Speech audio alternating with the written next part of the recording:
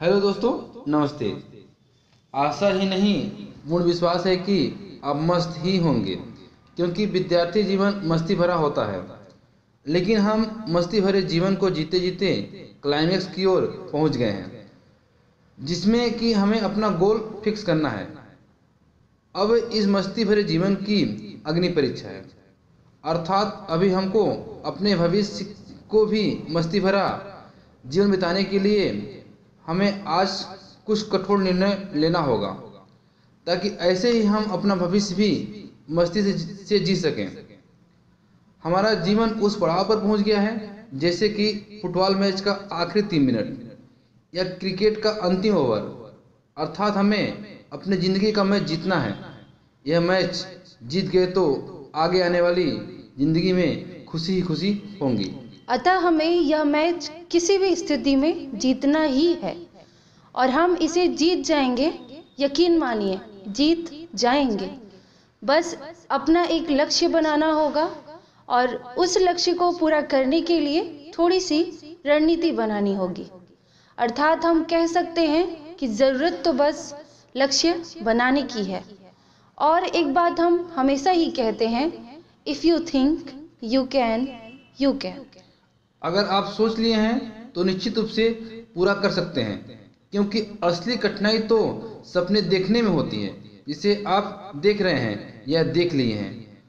हम यह बात निश्चित होकर इसलिए कह सकते हैं कि आप सपना देख लिए हैं या अपना लक्ष्य बना लिए हैं, क्योंकि यह लेख आप सुन रहे हैं। यह लेख सुन रहे हैं, जो इस बात का प्रमाण है कि आप दूसरे सामान्य विद्यार्थी से विशेष हैं। आप खास हैं, क्योंकि आपने सुनने के लिए सोचा। इत्मीनान से यहाँ तक आगे आए। इसलिए हम कह सकते हैं कि आपकी मंजिल आपको दिखाई दे रही है। चलना तो शुरू करिए, खुद ब खुद आसान हो जाएँगे सारे कठिन रास्ते। और हम वो विद्यार्थी हैं जो मन में ठान ले तो दुनिया का कोई भी लक्ष्य प्राप्त कर सकते हैं। हम हम इस बात को इस आधार पर कह सकते हैं कि पूरी दुनिया में जो भी खोजा या कोई बड़ा काम हुआ, उसे पूरा करने के लिए एक दिन आपके जैसा विद्यार्थी ही मन में ठाना था कि हमें अपने जीवन में ये काम करना है। और वह उसे करना शुरू किया और एक दिन कर लेता है। तो वो भी विद्यार्थी और हम भी विद्यार्थी इस प्रकार हम भी सभी बराबर हैं।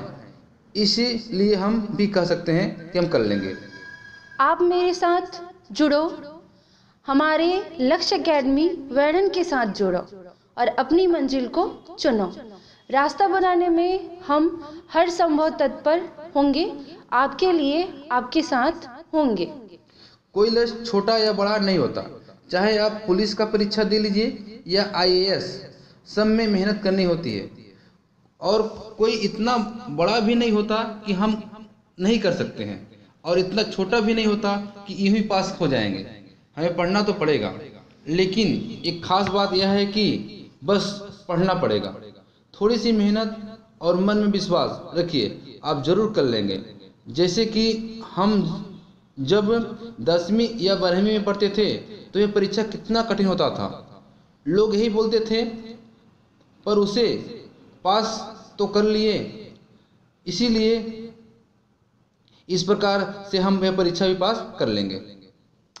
आप अगर अभी तक सुन रहे हैं, अर्थात आपको यह सब सुनकर अच्छा लग रहा है, आपके मन में उत्साह बन रहा है तो चलिए हम आपको एक प्रेरणास्पद कहानी सुनाते हैं, या एक ऐसी कहानी सुनाते हैं जो आपको उत्साह से परिपूर्ण कर देगा। बहुत ही मज़ेदार कहानी है। निश्चित रूप से आपको मज़ा आएगा ही आएगा।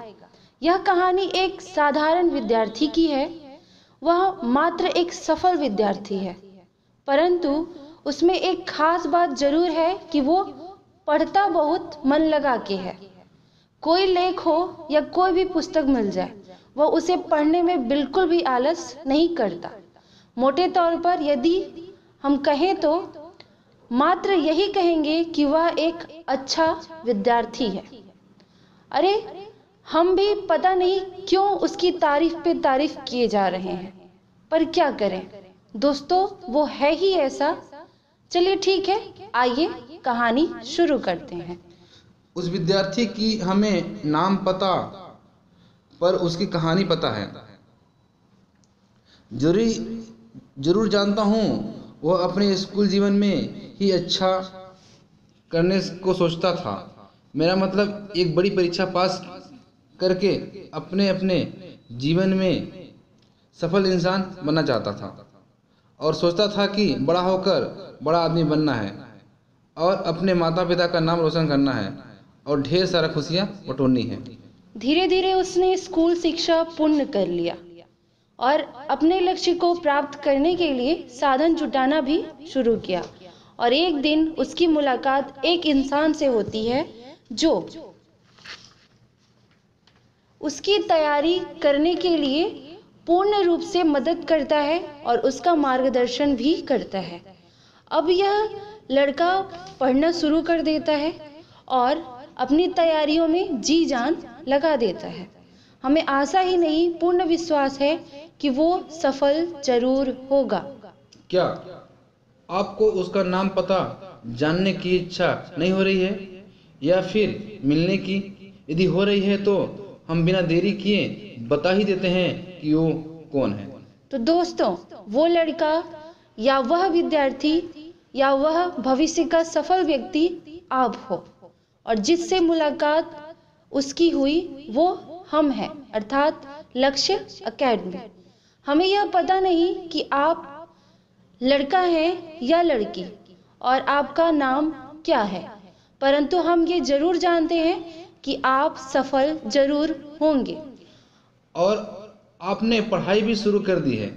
इसीलिए कब से इस लेख को सुन रहे हैं, इस कहानी में रुचि ले रहे हैं। और आपके मन में एक सपना भी है, एक खूबसूरत सी कुर्सी भी आपको दिख रही है जिसपे आप बैठना चाह रहे हैं।